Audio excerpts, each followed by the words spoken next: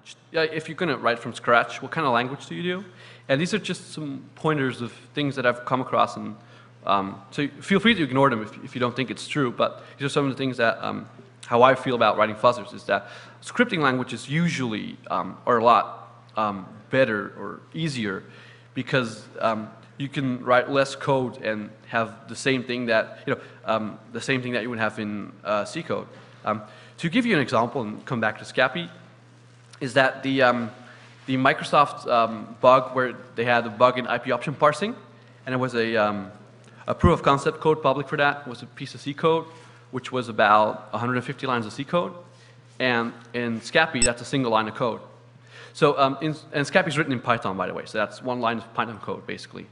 Um, so scripting languages are really cool, and um, it goes a lot faster if you write stuff in scripting language, usually. Um, the other thing is obviously that, because um, scripting languages are generally slow, um, is that your fuzzing on itself will be slower. And um, one of the things I've noticed about Python is that it's really slow compared to like Perl or something. But you can optimize Python code, so that's good. Um, most people also recommend using scripting languages because it's just easier to write stuff. However, uh, one of the things that I've come, uh, I've kind of um, experienced is that um, these kind of um, scripting languages, they're really cool if you want to do um, like ASCII-based protocols and stuff like that. But if you've got stuff where you've got um, a lot of binary data, um, it gets kind of messy. I mean, like in Perl and Python, you've got to use pack and things like that. In C, you don't need those things. It's all native in C, basically. So if you're going to do a lot of binary stuff, um, it's probably not a bad idea to use C. Um, right. Besides all of that, if you don't like any of the languages and you want to write something in Dylan or uh, Lisp or Smalltalk or whatever, you know, go ahead. You know, you should choose a language that you're comfortable with. But these are just some of the, um, the things I've come across. Right. So um, the other thing is uh, smart fuzzers, um, or not smart fuzzers. Um, basically, you've got two kind of fuzzers. You've got dumb fuzzers and intelligent fuzzers. And the difference is that with a dumb fuzzer is that usually it takes you between a couple of minutes and an hour or so to write one.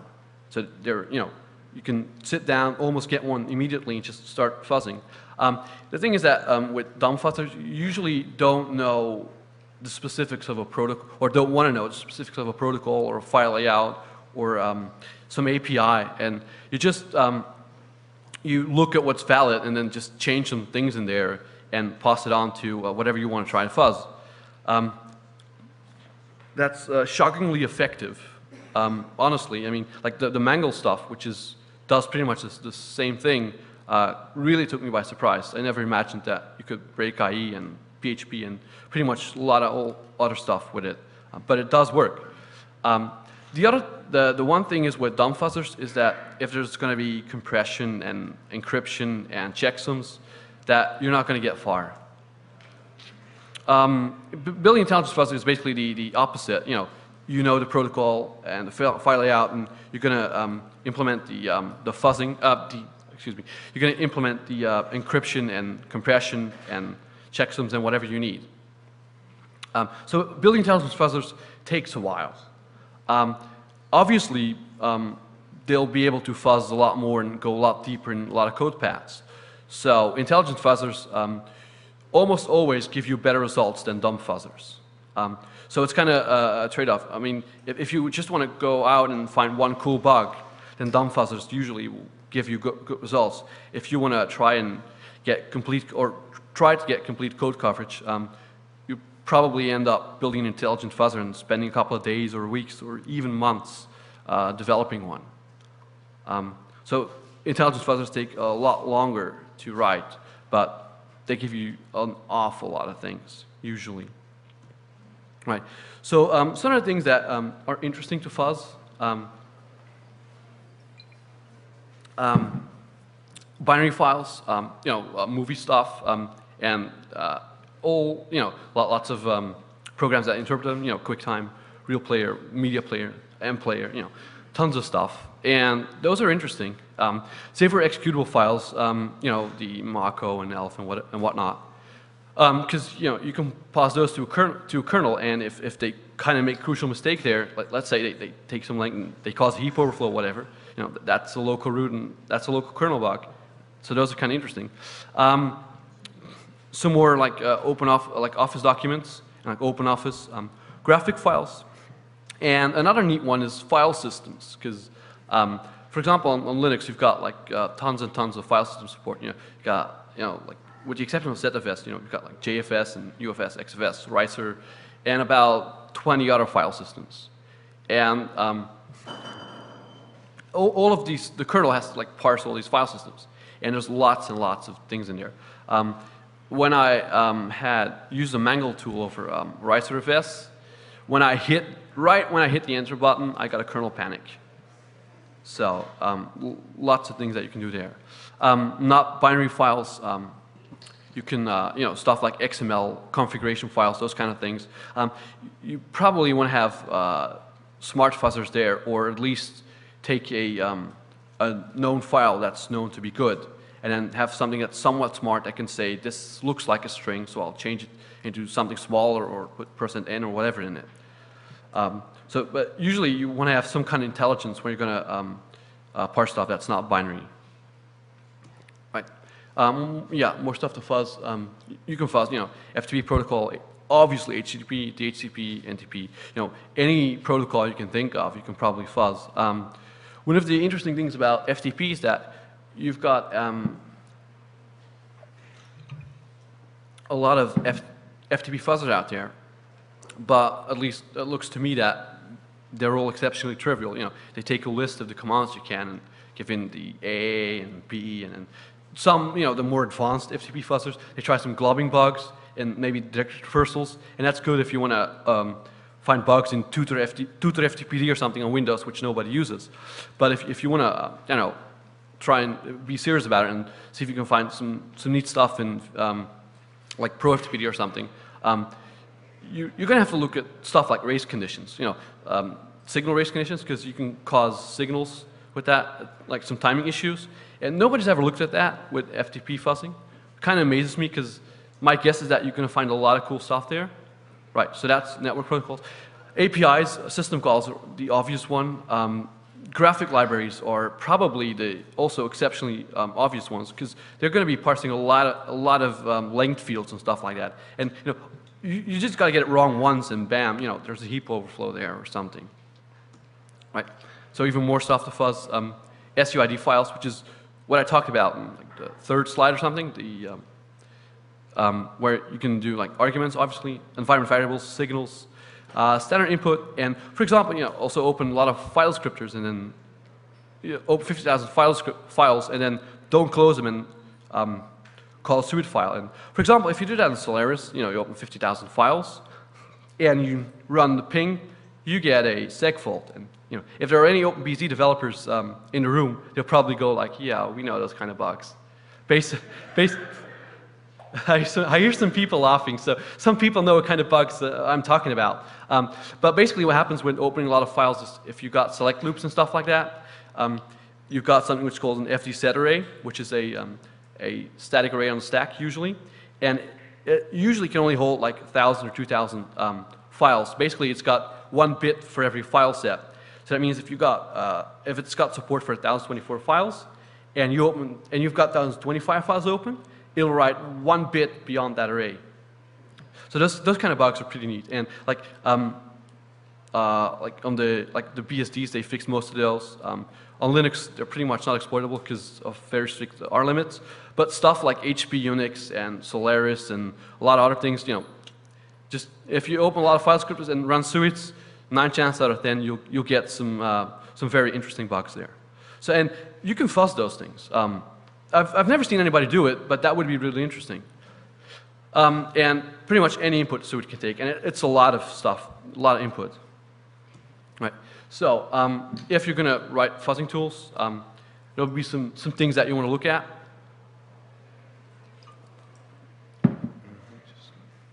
Okay. Um, obviously, um, size fields, uh, you want to look at strings. And then like things that uh, terminate some kind of data and things that mark its beginning. Um, right, so let's look at size fields. Um, obviously, um, one of the interesting ones is um, negative values. I'm sure you've all heard of it or seen some of those things, but they do cause a lot of problems.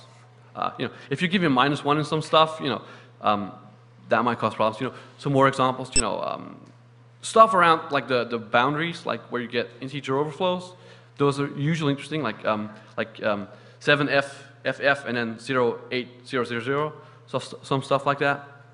Um, they can cause under-indexing, for example, um, negative values. Um, they can also cause, you know, if you do just do a bound check and you store that stuff in a sign integer, uh, and you check if it's bigger than some array, and then use that value put in a copy loop, it'll get caused to an unsigned teacher, and very, very bad things happen.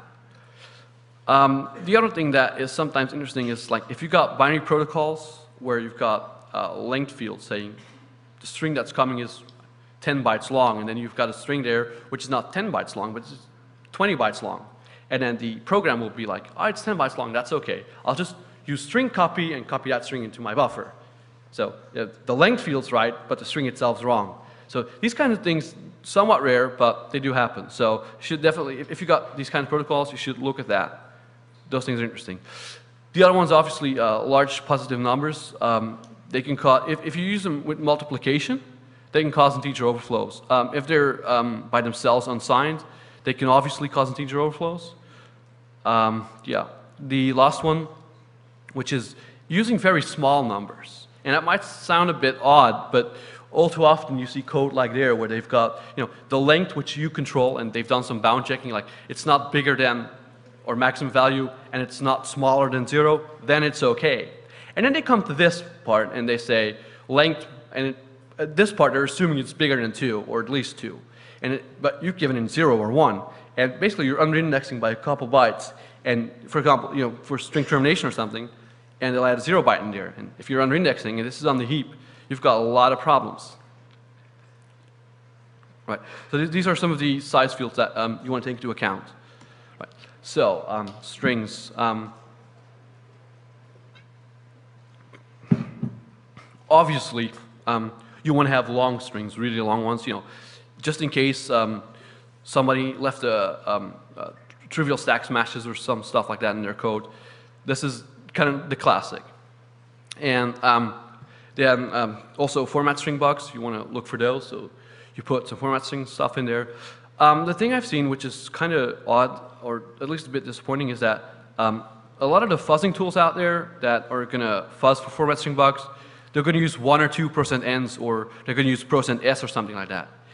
That's not that good. It's not really a good idea to do, do it that way. What you want to do is you want to use lots of and ends. You want to use 15 or 20 of them.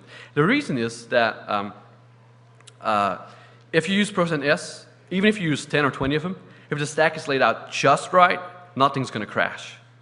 If you're going to use and ends, even three or four of them, if the stack is laid out exactly right, I mean, it's kind of rare, but I've seen it happen. If it's laid out exactly right, you know, three or four percent ends, it's still not going to crash. And obviously, you want to get it to crash. So, you know, use 15 or 20 of them. And, you know, it's almost guaranteed that it'll crash. I've never seen a stack that's that well laid out um, by accident.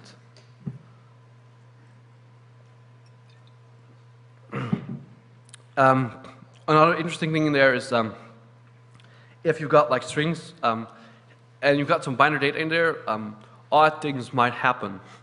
Um, you know, you can usually, if you, if you want to generate those, just grab stuff get stuff out of def random or something.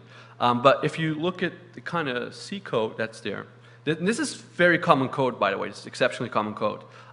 Where basically you've got uh, uh, B is a string you control. You know, you've just read it off the network, and you're putting it into this kind of thing. And you know, go up to the first zero byte, and then plus one.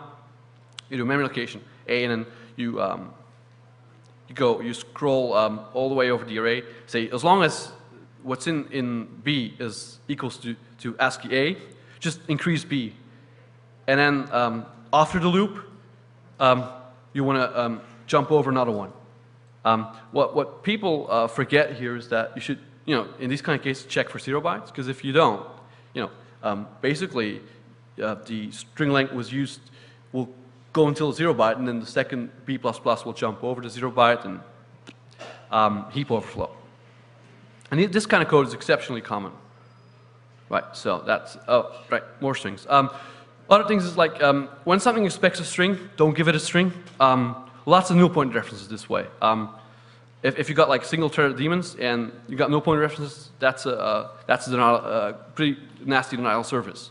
Um, the other ones, um, like if you got lengths in ASCII values, that's pretty common. And basically just um, try to do um, keep the size things in mind and just use them in ASCII values. And this is fairly common. Um, a couple of months ago, I discovered a bug in Ethereal where it does distcc parsing, which is distributed, uh, distributed compiling. And it's got an, it has an ASCII protocol where they say um, an argument, and then they say the length of my argument, and then they give you the argument. And the code basically just took the length and put it in the sign integer, you know, said, oh, it's smaller than my buffer. Let's give that length to memcopy, and there was a stack smash. Um, right, so that, that's kind of like, um, these are kind of like the strings that you want to keep in mind. If you're going to um, look at stuff that's going to be written in C. Um, some more interesting things, which is um, usually more web related, is um, uh, SQL injection stuff. though it's not always that, uh, at least not related as in like forums or stuff. But for example, um, a couple of months ago, a friend of mine came across um, some commercial product which had a web server. And he connected to it with a fake browser. And he had SQL injection in his browser version. And it would trigger, the, um, it would trigger an SQL bu injection bug in this commercial product. So it's not, all, it's not always in like um, posting to forums and stuff. You can have SQL injection in other places as well. But usually it's in you know, web-related forums and stuff like that yeah, cross-site scripting. I'm sure everybody's heard about them. You know, some JavaScript alert or something. Um, so yeah, um, if, if, you're into cross-site scripting and stuff, you can, you can probably fuzz a lot of cross-site scripting stuff. Um, a bit more damaging stuff is uh, directory traversals. Um, if it's like FTP stuff, you can usually get out of, like in Windows, or at least there have been a lot of them, we can get out of sort of a, you can get out of your chroot or something like that. Um, uh, in like web servers and stuff, it can get pretty nasty because if you can do directory traversals, you might be able to get command execution from there. Kind of, it kind of depends on the way things have been made. Um, and then the, the, the, last one of strings is F command injection. Um, like backticks, for example, um, or you know, um, semicolon or something like that. And every time I find one of those, it kind of amazes me that people still make these kind of bugs. I mean, you've got like some high profile daemons and stuff out there where there's this kind of trivial command injection. You give it something that'll give to a shell as an argument, do backticks, and you get a remote root shell or something. That's, yeah. So the, the, these are kind of the strings that you want to look at um, um, when you're um, fuzzing. Right. Some more stuff. Um, basically, um, things that terminate or um, something or that mark its beginning. Um, you know, it can have like null bytes or just four zeros or, you know, in, um, or um, brackets, stuff like that. And so basically, you know, kind of things that you want to do is like, like not use them and just have it endlessly going on, for example, or put data that wasn't supposed to be off there, off there anyway and see what happens. If, if you can like, if there are ways in the protocol to escape them, you know, to escape some stuff, try to escape um, some of these things that mark some beginnings or endings, uh, it, can get, it can lead to um, surprising results. Uh, and then um, put several of those off each other and see what happens. Right. Um, right. Um, how do you want your fuzzer to actually work? The way I usually do stuff is you got, uh, you know, you define some states of stuff that you want to do, and then um, I just use uh, ran functions to decide what state I want to use, and then just fire that off. And that works pretty well. Um, usually, when you do these kind of things, um, you'll be working in endless loop. Um, yeah, some of the, you know, the, the, random stuff, you know, ran, arc4random, and some more stuff. Uh, def random and def u random are exceptionally useful. Um, def random might not be that useful for fuzzing, because in fuzzing you want to do stuff very, very quickly, and it doesn't have to be cryptographically secure. Um, so def random might not be that good because um, it's slow, but def random is wonderful. Um, if you're going to fuzz, it's like you, know, you, can't live without def random if you're going to fuzz, or at least I can't live without def random. Um, yeah, yeah, and it's usually an endless loop that you do these kind of things.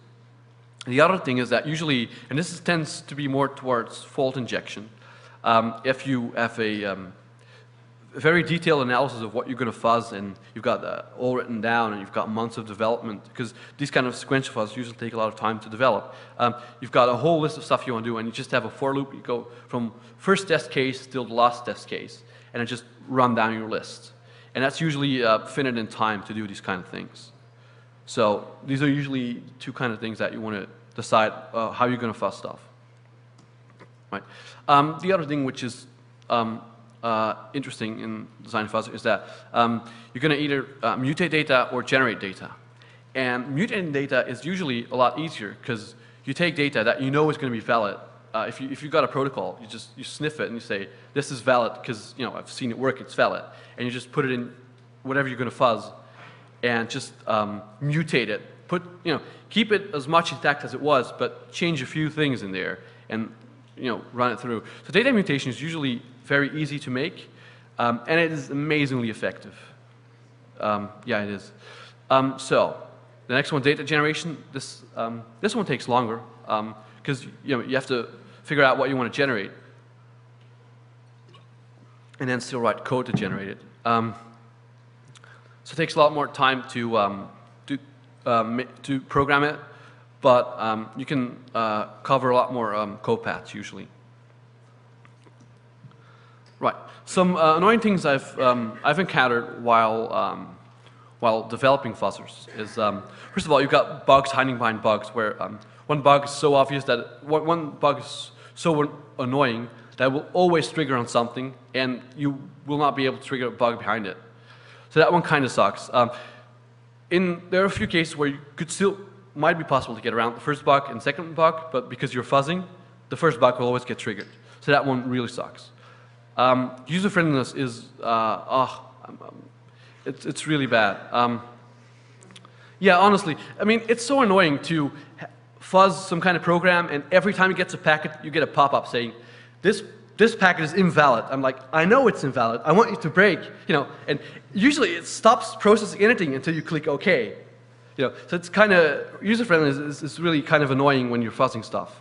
Um, yeah, memory leaks, um, arguably, you can say memory leaks or bugs or security bugs, um, but if it's like memory leaks like one or two bytes every time, it's not that much and you usually don't feel it, but they can get pretty annoying when fuzzing because if, if you're spitting out uh, a lot of, lots and lots of packets in an endless loop, um, you know, every time you send out some kind of packet, it might leak one or two bytes. So after, you know, five, five million test runs, you've leaked five million bytes. Um, so, and sometimes the leak can get bigger. So, you know, if, if you're going to be fuzzing something and it leaks a lot of stuff and sucks up a couple of gigs in, in a couple of minutes, you won't be, fuzz, you won't be fuzzing it for long. Um, right. The other thing is, um, yeah, programs that are slow in general, um, they're, they're, annoying to fuzz because you just have to wait a lot, a lot longer for your results. Um, usually, though, um, slow programs are interesting to fuzz because, um, I mean, if they're slow for what they're doing, because that means the programmer didn't really, probably didn't know what he was doing, and that doesn't usually also reflects in the quality of his code, I mean, like in terms of security. So they might be annoying to fuzz, but they're, on the other side, they're also interesting because you just know there are going to be bugs there. Um, and of course, you know, you can only fuzz what's configured. If things haven't been configured, I mean, you won't be able to fuzz those code paths, obviously. And then the other thing, which is, um, I've talked about it before, but which is really annoying when you're fuzzing is checksums, encryption, compression, all those things. Especially if it's like, if it's like uh, compression or encryption that's not publicly known. I mean, it's not an open standard. It's stuff that you have to reverse engineer. That's pure hell. Um, right, so. Getting rid of these annoyances. Um, bug hiding behind a bug. Um, if it's open source, um, track the bug down and just fix it. If it's binary, um, you're kind of not so lucky because if you can track it down and patch it in the binary, I mean, depending upon what kind of bug it is, it might be trivial, um, but it might also be very hard. Um, you might also be able, uh, which I'll cover in the next one, but um, if, if it's binary, you might be able to, if, if you can isolate where it is, you might be able to preload it. Um, so yeah, um, the second one is user friendliness. That one's really annoying. Um, you can usually preload stuff. If you get like a pop-up for something, preload it and just get rid of that pop-up. Um, the other thing is that um, on macOS, you've got something which is called AppleScript. And what's so cool about AppleScript is, well, I'll show you that in the next slide. So, but keep in mind that AppleScript is really cool um, for uh, helping you fuzz stuff. Um, memory leaks, um, which is basically, you know, arguably um, a bug behind a bug, because memory leaks on themselves are bugs, I guess. Um, well, again, you know, if the same rules for bug behind a bug apply, you know, if it's open source, fix the memory leak if you can find it. If it's binary, you know, if you can find it and if you can fix it, because um, binary is obviously a lot harder to patch than when you've got source code. Um, but if you can fix it, you know, try and fix it because memory leaks do matter when you're um, when you're fuzzing stuff. And then for uh, like the other stuff, like slow programs and fuzzing what's being configured and encryption stuff, um, you know, there's usually no easy way to get around. Maybe configuration, maybe if, if you know what to configure, not, not what not. But all the other things, there's no easy way to get around them. Um, you're just going to have to deal with them. So yeah, that, that really sucks. Um, so, but getting around some user friendliness, um, speci specifically on Mac OS, um, you've got AppleScript. And AppleScript is sort of a programming language, but it looks more like English than a programming language. Um, if you can see the code here, basically this is um, something I've used to fuzz Internet Explorer on macOS. And basically what you do is you, you know, tell Internet application Internet Explorer and then basically have a while loop in there and then open a Gopher URL. And this is pretty cool because in, in, Internet Explorer, um, you, you, don't have refresh when you're doing Gopher. You've got refresh in HTML, you've got no refresh in Gopher. And you could hit the um, refresh button a million times, but you know, your fingers start hurting or maybe they, they might even start to bleed, I don't know. Um, but if you've got AppleScript, you don't need those things. AppleScript will do that for you. You'll say, you'll tell AppleScript, you know, do that what I would usually do, and it'll just do it. And besides the fact that you will save um, yourself a lot of pain in your fingers, um, it'll be faster because, um, you know, refreshing, you know, you got human interaction, but this is just, you know, this is just automated. So AppleScript's a godsend um, if you're going to fuzz stuff on macOS, but at the same time, it can cause problems because some applications on macOS, um, they either don't implement AppleScript and then you can't use it, or they've implemented really, really badly, so badly that um, when you just when you try to write some um, uh, some AppleScript code, the the thing will just crash when you're trying to communicate it with it. So, but besides that, AppleScript's really, really cool. Right. Um, determining um, how stuff fails. Because, um, I mean, it might sound a bit obvious, but sometimes it's kind of nice to have some pointers towards how, to, how these kind of things fail. Um, obviously, you know, crashes, usually those are pretty easy to detect. Um, but, you know, and I'll talk about that a little bit later and very, um, very small snippet on the next slide. Uh, huge memory consumptions, they can usually be found with default tools, and um, I have a slide about that as well.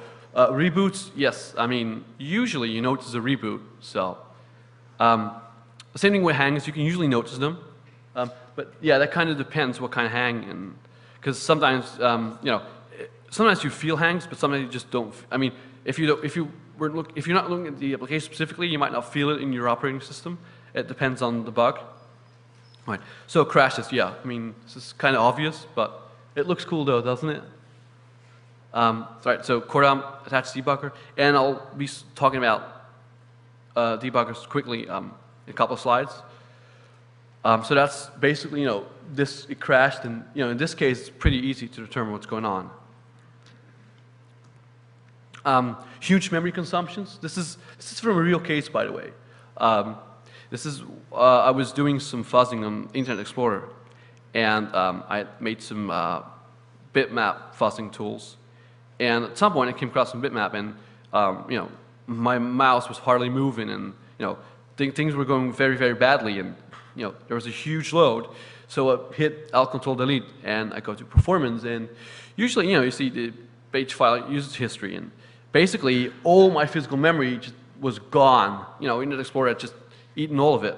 So, and you know, it's easy to see it here, you know, and then at the, you know, the after picture, after Internet Explorer has died, after I've killed it, you see all the performance, you know, it's all coming back. So uh, it's kind of nice to see it in the graphical way. Um, so, but usually it's easy to detect these kind of things. Um, yeah, a reboot. Um, a while ago, um, I was fortunate enough to be at somebody, uh, be at a friend's place who had a Cisco, and I figured, you know, I've never fuzzed a Cisco before, so let's do that. And this was the result I got. Um, I, haven't, I haven't played with it before because I know very little about Cisco devices, but it was fun though to see break. And then you get, you know, some, some stuff in there, some registers, and then Cisco decide, Cisco um, realizes it has crashed and it reboots. So it's kind of neat to see those kind of things. But um, hangs is, yeah, it's another Internet Explorer thing. Um, basically, you know, if, if your CPU um, memory usage for some application um, never drops until you kill it, you know something's up.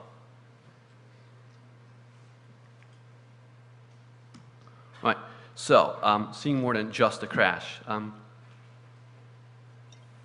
this is just a couple of pointers. Um, I really don't have time to go into detail on any of these things, but if you're interested in some of these things, you should stick around for next talk by Richard. Um, he'll be giving you a really cool tour of um, some of the things in IDA Pro, which is, which I mentioned here, um, and how you can figure out some structures um, of, binary, of uh, binaries and how we can use those for um, fuzzing, for example.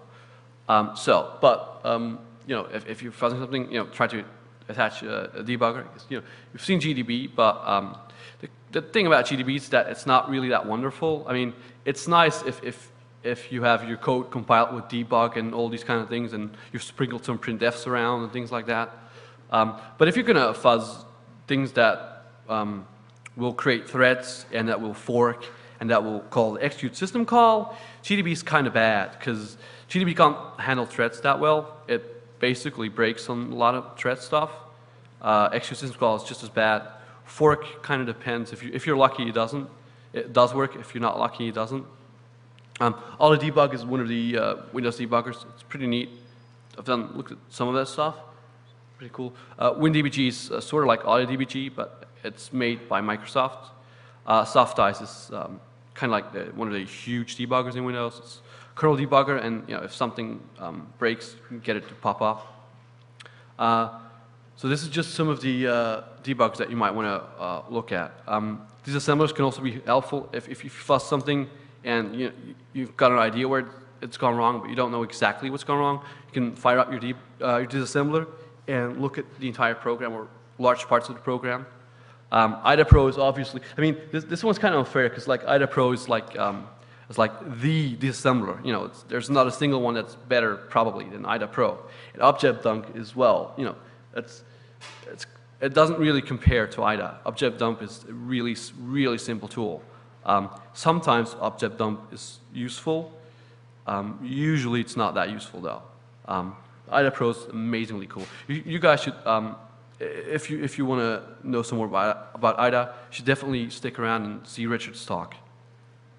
Um, right, yeah, the, the thing is that you should, um, when you're debugging stuff, try to keep track of everything that's forked and, and spawns that have been thread, uh, threads that have been spawned, excuse me, um, if you're using GDB, you're kind of out of luck because um, GDB will probably um, uh, crash on some uh, thread stuff. Right.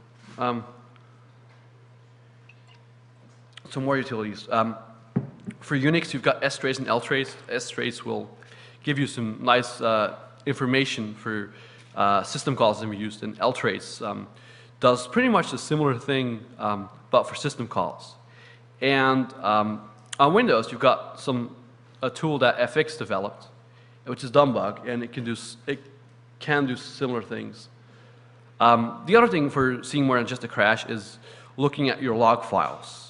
If you see something like that in your log files, you know something's up. You know, somebody tried some kind of format string bug, and apparently they succeeded, at least in triggering it. Right.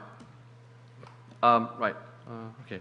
Um, extending existing fuzzers, um, that's one of the things that you should definitely um, do because the, the thing with like, um, for example, the, um, HTML, uh, the MangleMe tool from Mikhail Zalewski is that it was just sc scratching the surface. It only fuzzed a small part of HTML and it didn't even cover anything else that the browser did. So um, just if, if you just take any fuzzer that anybody ever made, just take it and look what it does, and then think about things they've forgotten. If you implement those, and then just run your tool against whatever they ran it before and all the bugs they fixed, just run it again, and I can almost guarantee you that you'll find new things. Um, so um, you don't always have to start from scratch. Just take other people's work, build upon it, and usually you find new, new things. Um, it, another example of this is, and this is actually a good one, um, is the Protos, um, this, um, the uh, SIP um, fuzzing tool they had. Is, I mean, they've, they've spent months trying to figure out exactly where things can go wrong, and they've, they've worked things out in, in, in detail. Uh, and so they've covered a lot of code paths and a lot of um, uh, devices or software that parses SIP. And so they've, they've probably, if, if you run something against Protos, you can catch most of them. Um, but then a couple of months ago, um, somebody discovered a bug in Ethereal in SIP parsing. And this was one of the main attributes of SIP. And the, the, actual bug in Ethereal was a, a, trivial string copy where you had a stack smash and you know, buffer overflow 101. But the thing is, because the guys from Protos had run their tool against Ethereal, and they discovered several bugs in the SIP parsing, but they had missed a specific one. So if you had taken the RFCs and look at the way people implement stuff, you would have extended um, Protos for this thing, you would have been able to find that, that particular bug in Ethereal.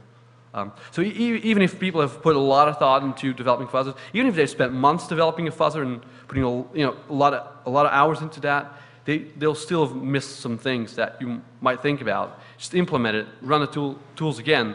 Usually you find cool stuff. Right? So, my conclusions, because I know you're all bored of me and you want to go out. Um, but my conclusion is that um, fuzzing is amazingly cool. And even if, if I sound boring to you, you should still go out and try some fuzzers because it's like, you have to experience, um, you just have to experience fuzzing and see what it's all about and, and get this warm, fuzzy feeling the first time you break something.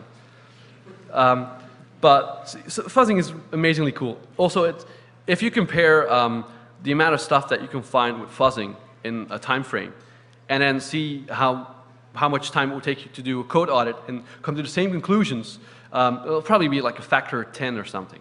Um, I'm not saying that you should get rid of code audits and only do um, fuzzing, because there are some tools that, uh, some bugs that are uh, hard or almost, or pretty much impossible to fuzz that you might be able to find with code audit. But if you're just out to um, find a couple of bugs, um, you know, fuzzing will save you a lot of time. I mean, I've, I spent the last uh, about two years um, doing an unhealthy amount of code auditing, and then I discovered fuzzing. It was like a whole new world opened uh, for me. So you can find a lot of cool things in a, a short period of time with fuzzing, where it would otherwise take you um, days or weeks or months or even years um, when doing code audits.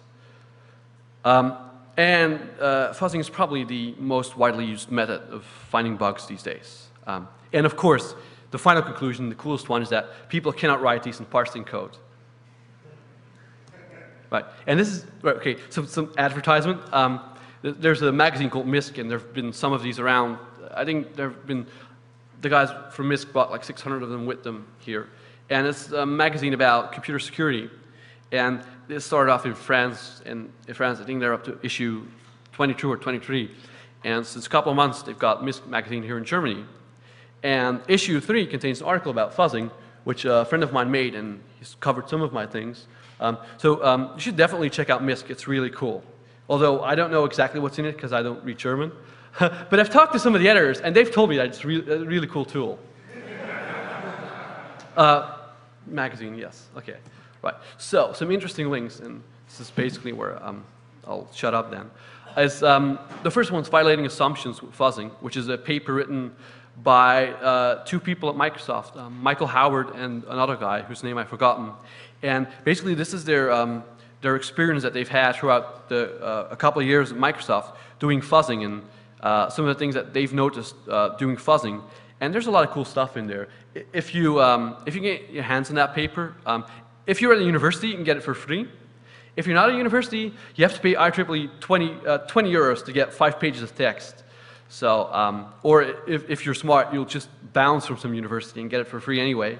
Um, I wasn't that smart. I, I actually paid them 20 bucks because I didn't know I could bounce off universities. Um, but so if you're smart, you're not a university, just bounce over some and just get it for free.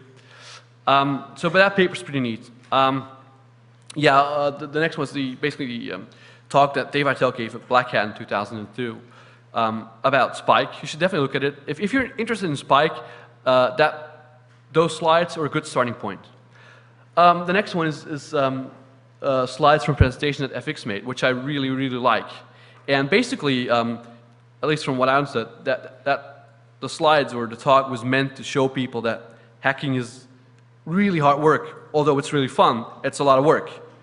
And uh, it, covers, um, it covers more than just fuzzing. It covers fuzzing, um, uh, adding statistical analysis and doing binary analysis. And then it also covers the exploit development and the making exploits reliable, and then something like don't use C because C takes too long to develop stuff in. So, but that one's really cool. It gives you, it gives you a more complete picture. Um, right, the next one's a talk of um, two guys from iDefense who talked at Black Hat this year um, about file fuzzing. And that one's interesting too. Um, if you've got some time, definitely check it out. Mm. Then there's the talk from uh, Brett Mounet, I think that's, that's his name, um, from um, AtStake at the time, um, discussing Combust and how cool it really is. And if you manage to um, read that uh, PDF, you'll see um, how cool the configuration options are in Combust. And then obviously, you know, some, um, some advertising for myself. You know, that's my website, and you can find some of my fuzzing tools there. And I've got a collection of fuzzing tools that other people made that you can find there. And I've made some slight modifications to some things that people made because um, I thought some things weren't, uh, were off, or wrong, or they missed some stuff.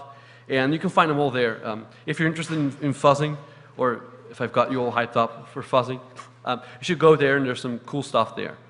Um, the, uh, yeah, the one under that is Advances of Block-Based Fuzzing, which is where Dave Aitel um, explains to people who read it how cool block-based fuzzing is and why uh, not using block-based fuzzing sucks, or why it sucks according to him.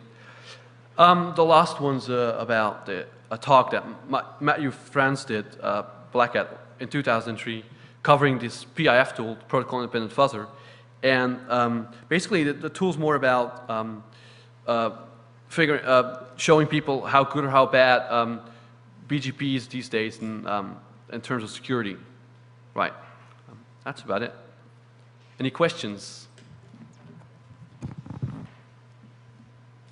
Nope. No questions?